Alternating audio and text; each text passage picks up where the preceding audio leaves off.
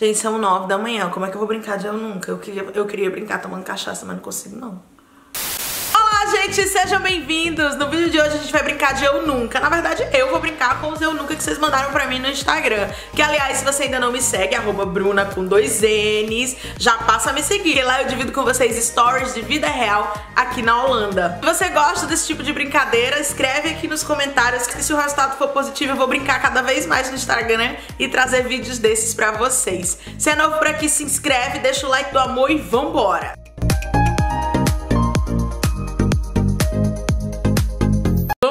Lá. O primeiro aqui. Fum... Nunca fumei marihuana, nunca! E vim logo viver no país da maconha. Primeiramente, minha linda, isso aqui não é o país da maconha, tá, tá assim, né? Com muito carinho, muito amor. Não acho que é legal a gente dizer que aqui é o país da maconha, né? Aqui é o país de tanta coisa. A maconha é uma delas. Imagina se a gente falasse o Brasil é o país da corrupção. Tem muita corrupção, tem, mas não é, não é, não é só disso, né? Então não vamos chamar assim. E sobre nunca ter fumado marihuana. Vou contar pra vocês a minha relação com drogas desse tipo. Já sei que vai vir um monte de dislike, meu Deus do céu, mas vambora. Eu nunca havia fumado maconha ou nenhuma droga desse tipo no Brasil. Nunca, ever. Tipo, é uma coisa que pra mim não foi nem não por falta de oportunidade, porque já surgiu oportunidade, mas é uma coisa que nunca me atraiu. Mas, quando eu cheguei aqui na Holanda, se torna uma coisa atrativa, porque sim, eles fazem os coffee shops, as lembrancinhas, assim, em lojas de souvenir. Então, quando a gente chega aqui, a gente meio que se sente nossa, eu preciso, o que, que é tão especial nisso que eu preciso experimentar? Então eu experimentei pela primeira vez aqui na Holanda e pra ser sincera, não deu barato. Eu me lembro, fui no coffee shop e não sabia nem escolher, tipo, apontei assim com o dedo, me lembro eu, na época de ao pé, nem dinheiro tinha, paguei parece 4 ou 5 euros em um baseado, tipo, achei aquela, achei aquela coisa mais cara do mundo. Tava com o meu dinheirinho real que eu tinha trazido, que eu tinha trazido do Brasil, então converter não é legal. e assim, não deu barato nenhum, não curti, não gostei. Aí você tá dizendo, Bruna, você, você, Bruna, você tá sendo hipócrita, não é possível, estou toda gente fuma e fica doidão, por que, que você não fica?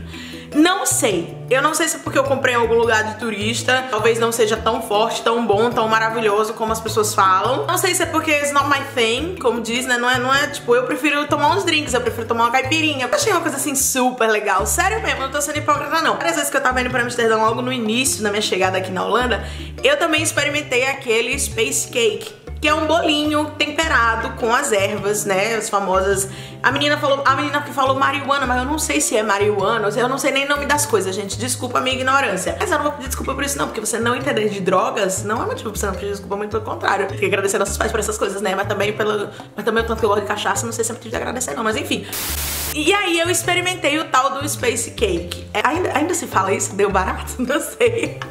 Deu uma viagem aí muito louca, mas eu não curti não curti mesmo. Eu acho, eu acho que isso realmente não é pra mim. Eu me lembro que isso já tem, tipo, oito anos atrás, mas uh, comparando com, com álcool, acho que eu tenho controle de mim quando eu bebo.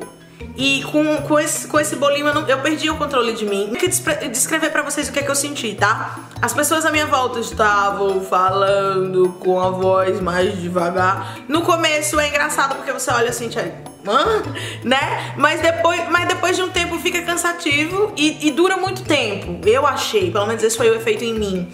Então, tipo, chegou uma hora que eu falei, para, eu quero tomar um café, quero tomar uma Coca-Cola, ver se eu fico bem de boa. Porque quando a gente tá bebendo e a gente começa a ficar, não, tô, não tô legal. A gente toma uma Coca-Cola, toma um café e aos pouquinhos a gente vai voltando. Com esse troço, não, não achei que foi assim, pelo menos comigo. Então eu não curti porque durou muito tempo, a viagem era tipo, não acabava nunca. É, eu não sei explicar direito como é que era, mas não era uma sensação legal. É como se eu não tivesse controle dos meus sentidos. O que dizem é que cada um tem um barato diferente, cada um tem uma viagem diferente com esses bolinhos. Então, pra mim, eu não curti. Então é uma coisa que eu nunca fiz de novo. Nunca fiz de novo, não tive nenhuma vontade de novo. Agora, se for pra tomar cachaça, pode me chamar. É isso, gente. Não usem drogas. eu nunca coloquei a bunda no Brandnet. Não sei o que é isso não, Brandnet. Eu já mijando na rua quando estava no engarrafamento. Louca! O Brandnet é, é, é o acostamento? Mas não, eu nunca mijei na rua, nunca saí de carro em engarrafamento pra mijar assim na rua, não. No meio de engarrafamento, não. Já, tipo, fim de festa, cheia, me mijando, ai meu Deus, não tem pra onde ir. E fazendo um xixizinho com as amigas fazendo paredão, isso aí já rolou. Mas, mas no meio do engarrafamento, assim, com os carros, um monte de gente olhando, nunca fiz não, amiga. Eu nunca peidei na frente do boy. Que? Claro que já! Não é uma coisa que eu faço com frequência, tá? O Dani pode confirmar que não eu faço com frequência. Mas um exemplo, essa semana que passou agora eu tive Balcrip. Então, pra quem sabe, é tipo um negócio que a gente tem no estômago. Tipo uma virose que dá, que a gente fica no estômago dando aqueles dias de rainha, né? E aí, minha gente, foi um dia que ele ficava falando assim pra mim, minha filha, você tá bem? Você matou um bode aí, minha filha, você tá bem? Já, não, não, não faço frequentemente, mas já fiz sim. Eu nunca tive que cagar com o bebê por perto, perturbando. Ô, moça, você nunca... Mas ela botou kkkk, então eu acho que ela tá sendo sarcástica. Mori, se você nunca precisou fazer fazer suas necessidades com uma plateia infantil, puxando o papel higiênico, puxando sua roupa, puxando seu cabelo, chamando você de mamãe linda, fazendo assim, e o mamãe? Ah, moça, você nunca passou por isso, você não viveu ainda, você precisa viver. Eu nunca uso sutiã em casa.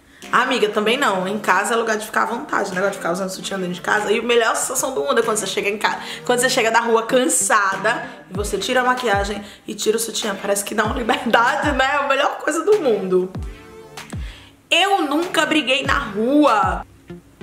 Eu também não, amiga. Nunca briguei na rua, graças a Deus. E assim, gente, de verdade, eu sou uma pessoa super pacífica. Tô falando de verdade, de verdade mesmo. Não sou de ficar de mal das pessoas.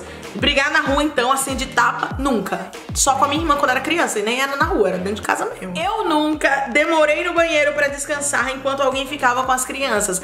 Miga, no banheiro não. No banheiro nunca, nunca aconteceu. Agora, no carro, quase sempre, viu?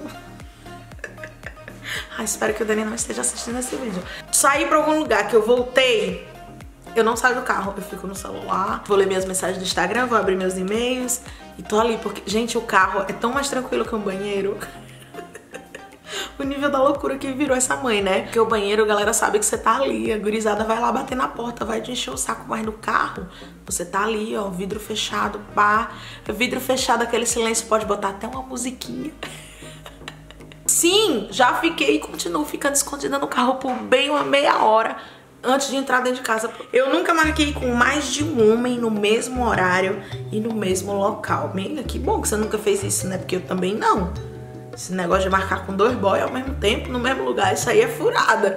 Furada total, amiga. Quem, quem tem mais de um tem que planejar direito esses pororó. Galera, esse foi o Eu Nunca de hoje. Eu me diverti muito. Espero que vocês também tenham gostado. Caso assim, deixa aquele like do amor. Chama a galera pra conhecer o canal e vai lá pro Instagram, eu tô sempre fazendo esse tipo de brincadeira pra vir, pra vir responder aqui nos vídeos pra vocês. A gente se vê no próximo vídeo, mas não sai não, que tá cheio de vídeo aqui no canal que eu tenho certeza que você ainda não assistiu. Até a próxima. Tchau.